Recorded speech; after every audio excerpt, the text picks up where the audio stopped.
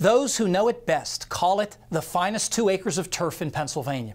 And during a recent span of about six weeks, it was used as much as at any time in its nearly 50 year history. I'm talking about the football field at Penn State's Beaver Stadium, which recently hosted six games in the space of seven Saturdays for only the second time ever.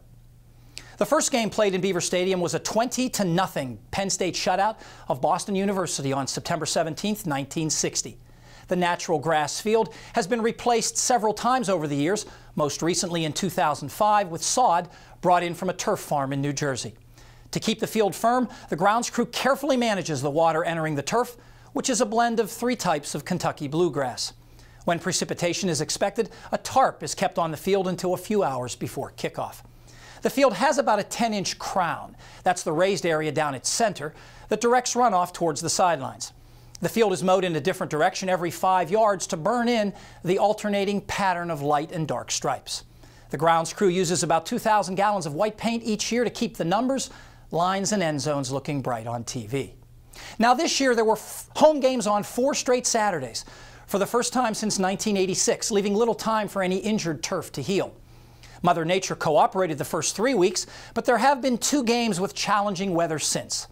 Most recently, the tarp saved the day prior to the Minnesota game as more than an inch of liquid fell, most as snow.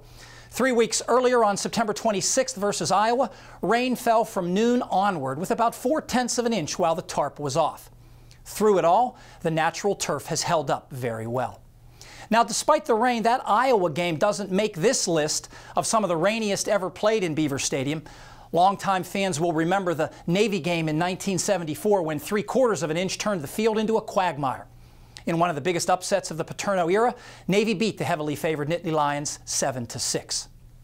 More than an inch fell when Notre Dame visited in 1985. I was there and can testify it was a cold rain made easier to take by a Penn State 30 point victory. Then there was the Rutgers game in 1993, the daily total just shy of an inch. New sod had been laid that summer but hadn't properly taken root. And as heavy rain fell during the game, the turf was torn and lifted with each play essentially ruining the field. The next home game wasn't for three weeks, so all the remaining grass was removed and replaced with a heavier sod that held up the rest of the season.